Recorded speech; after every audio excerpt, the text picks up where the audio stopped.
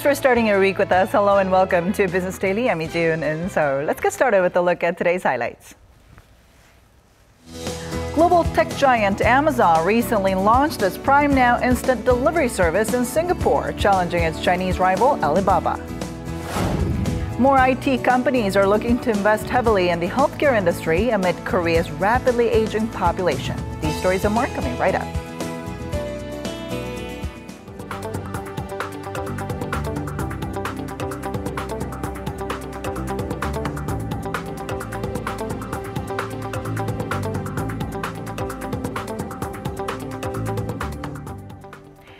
But first, after a trial lasting over five months, the Independent Counsel has recommended a 12-year prison sentence for Samsung Group's de facto leader, Lee Jae-yong. The probe team was created to investigate a massive corruption scandal that led to the impeachment of former President Park Geun-hye. The counsel's list of charges against E include bribery, perjury, and embezzlement, read out at E's final court hearing at the Seoul Central District Court on Monday. The Samsung heir is suspected of bribing the former president and her close confidant Choi Soon-sil in exchange for illicit favors from the government. The court has announced the date of the final verdict, set to be delivered on August 25th. It looks like a joint committee meeting between Seoul and Washington to discuss their free trade agreement will not be happening this week. Guidelines stipulated in the Korea US FTA say both parties are to meet within 30 days after a review request is made. Now, that would be this Friday, August 11th. But according to reports, the U.S. Trade Office has called on industry advisors to submit feedback on matters of fair trade with Korea by August 15th. Additionally, U.S. Trade Representative Robert Lighthizer schedule takes him to Togo in West Africa this week before he attends the first NAFTA review meeting in Washington on the 16th. Seoul and Washington are also still at odds on where the meeting should take place.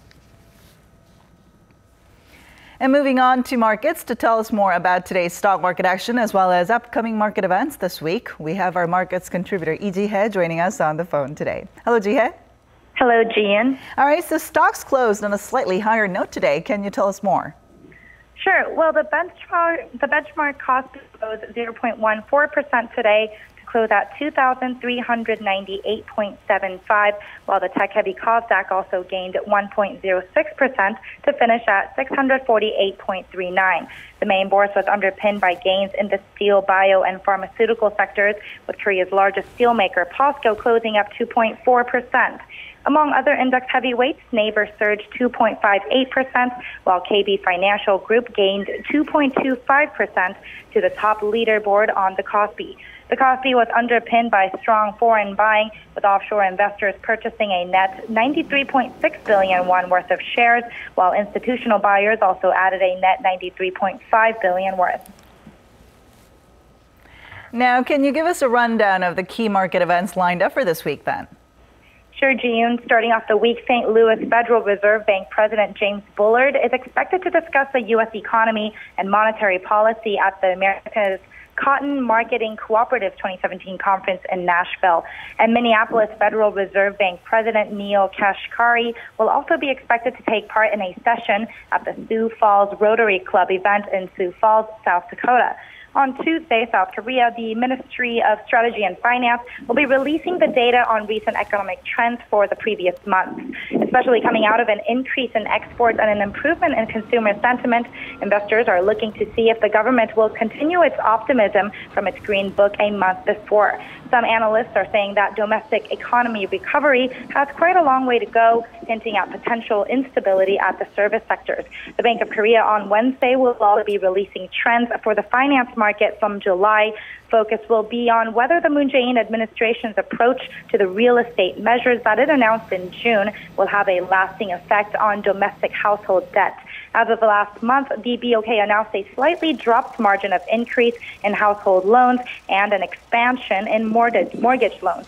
Also on Friday, the U.S. Labor Department will release its consumer price index for July. It's a key data point for the Fed, whose decision on whether or not to raise interest rates within this year hinges on any signs of pickup in inflation. Price growth has remained subdued in recent months, despite a solid job market and broader signs of recovery in the U.S. economy. This has been Lee for Business Daily. Fresh data shows the government's job creation goal in the public sector has fallen short in the first half of the year. In response to high youth unemployment, the finance ministry had said it would achieve 56% of their full year jobs target of some 20,000 new public sector jobs in the first six months of the year. But data from a government portal showed it achieved only 49% of the annual target between January and June, which is about 1,360 jobs short. This represents a drop from the average of 50% in the first halves of the years between 2013 and 2015. Daewoo Engineering and Samsung Engineering have won contracts worth nearly 5 billion US dollars combined for a refinery project in Oman. A consortium between Daewoo Engineering and a Spanish contractor won a package worth 2.75 billion dollars that covers the engineering and construction of the main processing units. A separate $2 billion contract was awarded to a joint venture between Samsung Engineering and a UK based oil and gas provider. Now, the deal will cover the construction of utilities, storage tanks, and other off site facilities. The latest statistics are once again showing the number of tourists visiting Korea is on a sharp decline. According to a report released by the Korea Immigration Service, the number of inbound travelers to Korea plunged 35.5% on year in June. The figure represents a drop of over 550,000 people compared to the same period last year, although edging up 1.4% from May. On the other hand, outbound passengers saw a 4.5% increase from May, while jumping 17.7% on year.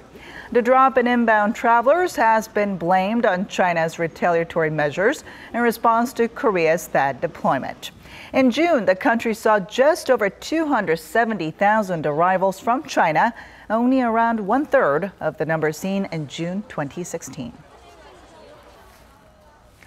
Singapore's Changi International Airport is set to open its newest terminal later this year. Passengers traveling through one of the busiest transportation hubs in the world will not only see a new building, but new technology as well. Our Elliot Kim tells us more. Terminal 4 of Singapore's Changi International Airport is set to launch later this year with construction costing 723.6 million US dollars. While currently the world's sixth busiest airport for international travel, its last expansion came more than a decade ago. The new terminal will increase the airport's annual capacity by nearly 25%, from 66 to 82 million passengers. When Terminal 4 opens, we are able to serve 16 million passengers per annum. Now, that is actually quite significant in terms of the overall addition to the Changi Airport's uh, terminal capacity. The terminal will make full use of technologies that have been under trials and testing for many months. It will offer a range of self service options to allow a traveler to go through the entire flight process without ever interacting with a human. From facial recognition for check ins and bag drops to automated immigration and boarding processes, the airport expects the automated departure process will save 20% in manpower. Well, I'll say Terminal 4 is really a flagship terminal for innovation. Uh, in many different ways, we are leveraging the latest technology and innovative ideas to uh, improve the whole operations efficiency as well as manpower productivity in a terminal. Increased automation addresses one of the major issues facing the country a lack of manpower. Like the other terminals, Terminal 4 showcases the art and history of the country that travelers have come to expect there. Preparation is already underway for the construction of a fifth terminal expected to arrive within the next decade. The building will add capacity for another 50 million passengers in its initial phase and would push the airport past Atlanta's Hartsfield Jackson Airport for the busiest in the world. Elliot Kim, Business Daily.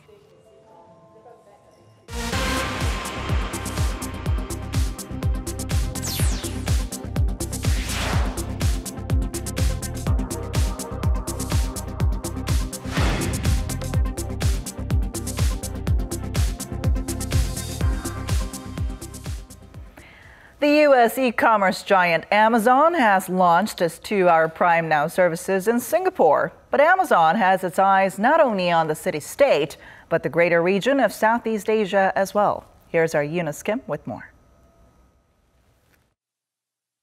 The e commerce giant Amazon, that continues to make its mark as a disruptor in its home market of the United States, now has its eyes on Southeast Asia. Its gateway to the sprawling region?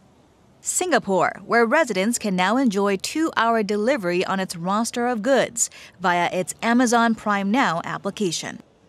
Leveraging Amazon's 20 years of operational technology excellence, this is the first time in any country or any city that we're launching Prime Now without an existing retail presence or fulfillment network. This is truly a first for Amazon. It's an arrival that's been the talk of the town for months. Many view Amazon's pivot to the city state as its first head to head confrontation with China's Alibaba Group, already a presence not only in the Lion City, but in the region at large. Ahead of Amazon's announcement, Alibaba invested another $1 billion into its Southeast Asia focused e-tailer Lazada. Our services will drive Singapore's urban logistics, e commerce, and retail industries. It will also help small and medium sized enterprises participating in the growing digital economy. Indeed, Amazon says its urban fulfillment center of about 100,000 square feet is its largest Prime Now exclusive fulfillment center in the world. But the company's ambitions lie beyond the English speaking state of about 5 million people. The region of Southeast Asia is home to more than 600 million people and virgin territory for e commerce, as only a fraction of total sales are conducted online. But it's not without its slew of challenges, given its various languages, regulatory environment, and sprawling islands, to name a few. Eunice Kim, Business Daily. The fast growing augmented reality market is expected to double annually for the next four years. According to International Data Corporation, spending on augmented and virtual reality products and services is expected to rise from $11.4 billion in 2017 to nearly 215 billion US dollars in 2021. Experts see consumer, retail, and manufacturing sectors to lead the investment and adoption of AR technology in the early stages. Usage by government services, transportation, and education are also gaining ground as the transformative capabilities of these technologies continue to receive more spotlight. Big IT companies are starting to see more ways of applying technology in the field of healthcare. So, what's driving such big tech firms to invest more in healthcare and diseases? Our Lee Young has more.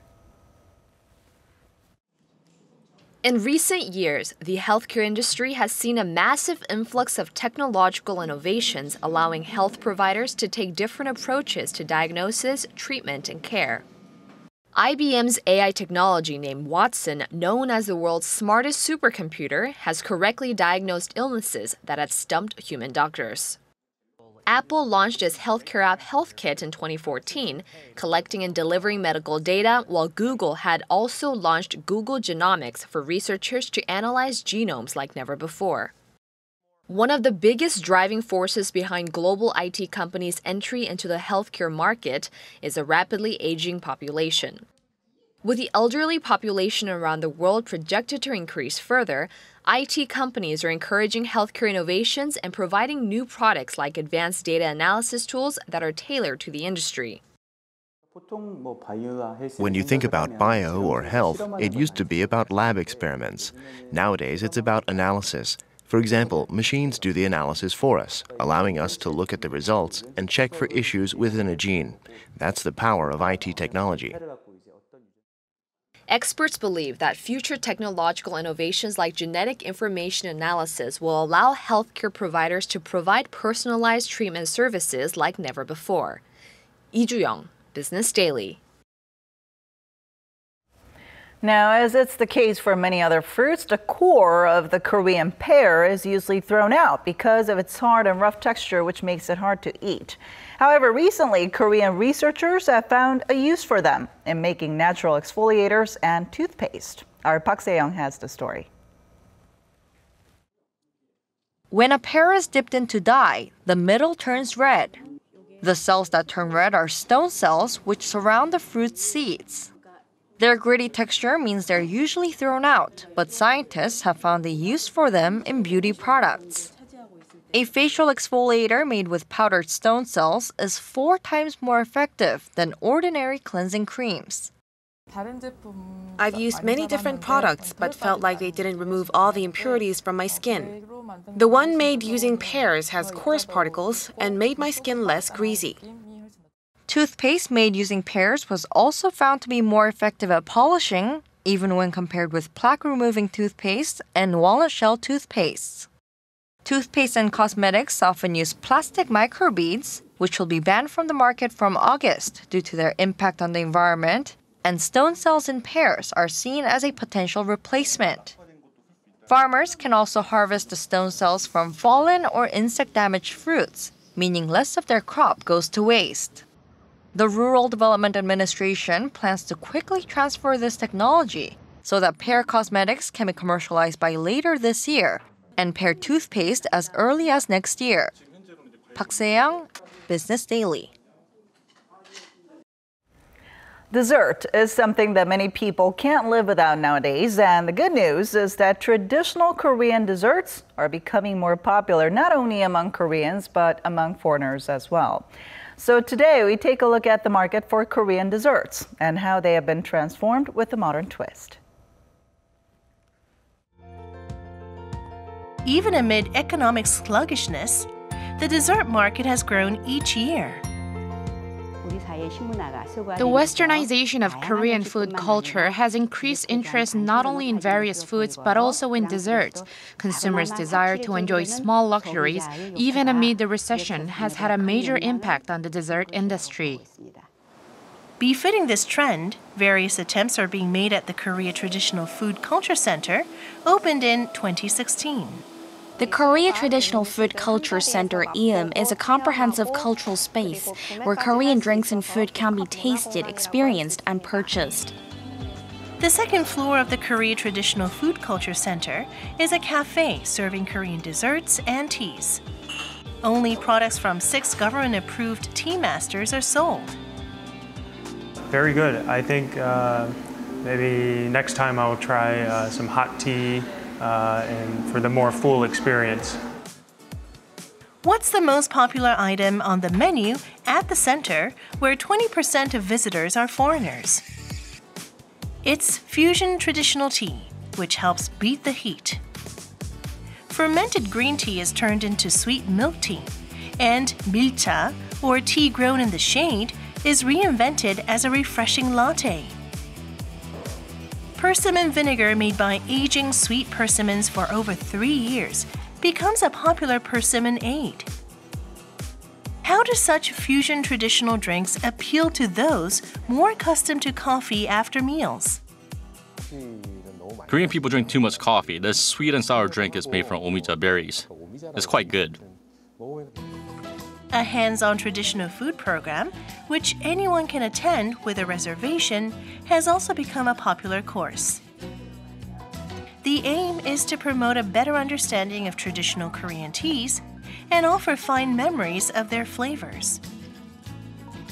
It's very tasty, and the in depth explanation piqued my interest. Experts advise that a flexible attitude is needed to globalize Korean desserts rather than an insistence on tradition. If both past and currently popular Korean flavors and desserts embody our senses, then there's no need to insist on traditional desserts for globalization. Global desserts popular in Korea now can become Korean desserts if they're made in our style. As the summer weather heats up, demand rises for patbingsu, a shaved ice dish and Korean dessert favorite. With the popularity of so called healthy pleasures, diverse bingsu variations are using ingredients like organic rice, honeycomb, and red ginseng. Most popular of all is purple bingsu. Last year, the global interest was explosive, with 5 million views recorded on Facebook in just three days. This bingsu, made with a purple puree on ice instead of red beans, uses purple yams grown in Korea as the key ingredient. The purple image of purple yams best fits the Korean and modern image we aspire to, which is why we use the ingredient. The yam chips and walnuts which decorate the dish resembles flowers. Even the minute details are attended to. Purple, a highly regarded color both in the East and the West, is also appealing to foreign diners. I think this place is pretty representative of desserts in Korea, and I like it a lot because it's not too sweet, but it's really it's different, and um, it, was, it, was, really smooth, and um, it, was, it was really pretty. It's the most important one. Thanks to the bingsu using purple yams, which are rich in dietary fiber, the company's sales increased roughly threefold in three years. The delicious flavor matches how pretty it is visually. Sweet potatoes are popular these days. We really like it. That's why I came to try it. About 50% of this company's clients are foreigners. In June of this year, the company began a global expansion, starting with Thailand and the US. Korean desserts, like those of other countries, combine flavor and style. Efforts are being made to publicize this aspect. Amid the dominance of Western desserts, Korean style desserts are devising new strategies. It remains to be seen whether global tastes can be captivated with the development of original new dishes based on traditional flavors.